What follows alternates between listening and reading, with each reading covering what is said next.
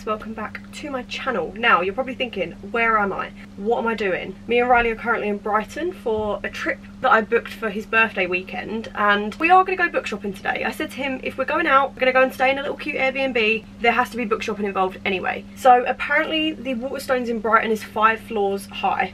I didn't know that until yesterday, which is really, really good, which means we're going to get a good few books hopefully. And then apparently there's also a works nearby, there might be another couple of cute little like indie bookstores that we don't know about but literally just gonna see what happens. I don't know what I'm gonna buy yet. I don't even have any books in mind that I actually want to buy. I'm literally just gonna browse the shelves and see. There's none that I'm like set out and saying I'm gonna buy that today. But we will see. But obviously I thought I'd bring you guys along with me considering we're going book shopping anyway. So this is what this vlog is. Come book shopping with me.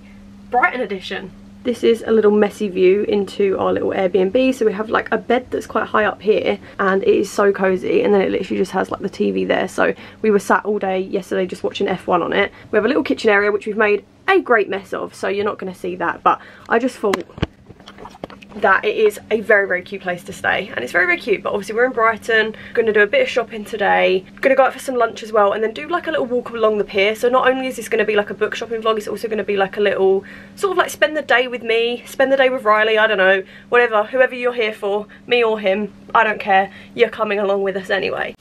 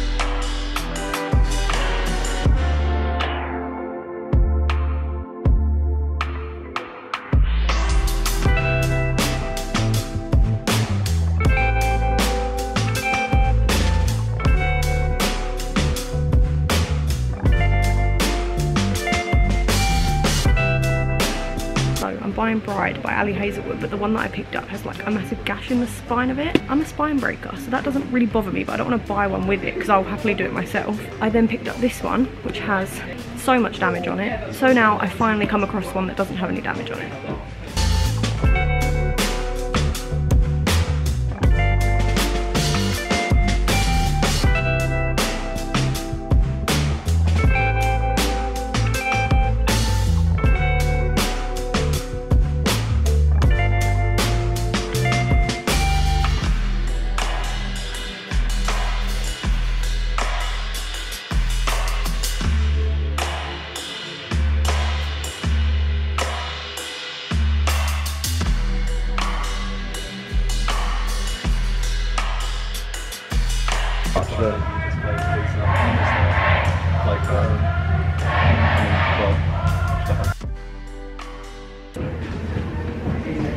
I'm element non-fiction.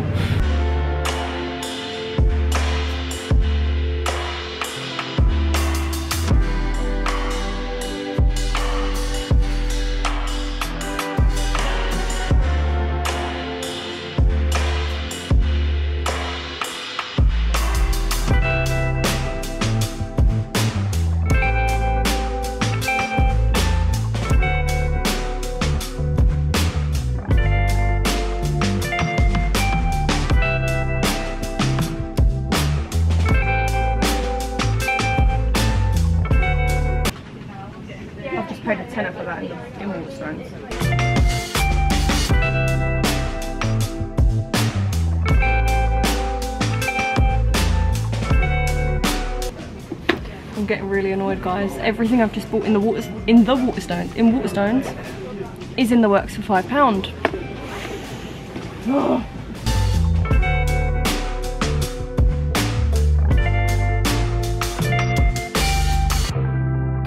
Oh thank god it isn't. It isn't sprayed edges. I'm eating my pickle. I'm eating it now. So I'm back now. I have my books. I have my pickle. Very, very happy. So I managed to get, I think it was four books. And I'm gonna, oh, let me just put this down. Hold on. I got two in the works and then two in Waterstones. So firstly, in Waterstones, I got Bride by Ali Hazelwood. Obviously, I've read all of Ali Hazelwood's other books right now, so I just obviously wanted to read this one. This one's a little bit different though to our other books, apparently. I think it's like vampire which is strange. I've never read that before, so it'll be nice to sort of see how she writes that and stuff. But then I went into the works after and found it for £5 in there, so the fact that I paid £9 for it in Waterstones is a bit annoying. But here we are. I then, please don't judge me, picked up Heartbones by Colleen Hoover. Now this is the one, I think this is like one of the only ones I haven't really read by her yet, but I never bought it because the paperback's really, really hard to get in the UK. Like I haven't seen it anywhere. And apparently this one's been published now, so I just picked it up. This is another one that I saw for £5 in the works, but turns out it had sprayed edges. So I got all annoyed in the works. I was like, oh, I've just bought these for £9 each. Turns out it had sprayed edges and I'm not like a major, major fan of sprayed edges. So glad that I picked it up there instead. But I don't know when I'm going to get around to this but I've got all of her other books so wanted this one as well. And then in the works I got Fangirl Down by Tessa Bailey. This is one that I wanted to get a couple of weeks ago now when I went book shopping for my sleepover video but I never actually like picked it up. I decided just not to get it but I gave in. I've got all of Tessa Bailey's other books and this is the only one that I haven't got because it's new so had to get it for £5. And then lastly for £3 I got First Down by Grace Reilly. This is a, I think it's, yeah, NFL, American football, college kind of vibe book. And this is a series. And this is one of my friend's favourite series. She says that they're really, really good and sort of like hidden gems because you don't really think anything of it. You think that this is just going to be like a cute little read that you just read whenever but it actually is really really good so I'm excited to read this one I was going to start it actually on the Super Bowl weekend but I just sort of never got around to it because I think I was reading something else and the whole idea was to finish it and then start like an NFL kind of thing for the Super Bowl weekend but I just I just didn't I didn't do it but those are the four books that I got today. I was going to get more. I did pick up actually Beartown and I can't remember the author but everyone loves that book and I did pick it up and I was so convinced I was going to buy it but I put it down because I was like when am I going to get around to it? I don't really want to buy books that I'm not 100% sure I'm going to read because I've got so many now. I've got to the point at home where my bookshelf's full I can't even put books on it because it, there's no room. I can make room I guess but I don't have much room so I don't just want to keep buying books for no reason whereas all of these I'm definitely going to read at some point. But I kind of want to do like a little book unboxing soon so I might order them. I've got obviously my Amazon wish list so I can get a few books off of there and then do like a little unboxing video as a separate video. But yeah they're the books I got today. We are going to head out in a minute actually. Oh actually before I say that I also want to say that before I forgot my train of thought. I don't know. I didn't get that many. I was going to get more but obviously we are in the middle of Brighton with only a rucksack on our backs so I didn't want to get a load of books and have to carry them home with me on the train tomorrow because we didn't drive down here we actually got the train. So yes. We are going to head back out though. Um, we came back just for a little chill session for a little bit needed a drink and stuff like that so we are going to head back out to the pier soon get an ice cream maybe or a donut or something. I'm really debating whether to take my coat out with me because yes it is only like seven degrees but it is sunny and I've got a big chunky puffer jacket and it's just so hot so I have a knitted jumper obviously that I was wearing, so I might just chuck that back on with this underneath and I should be fine. Classic Brit, talking about the weather. I'm just gonna eat my pickle and then head out later.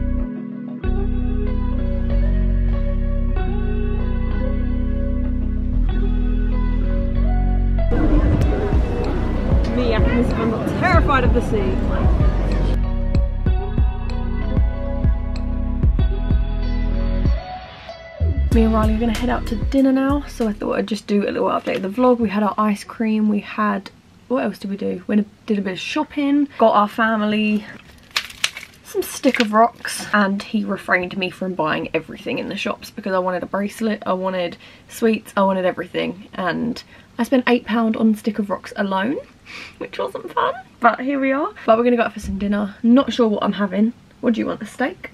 He went, he loves the vlog. Anyway, see you there.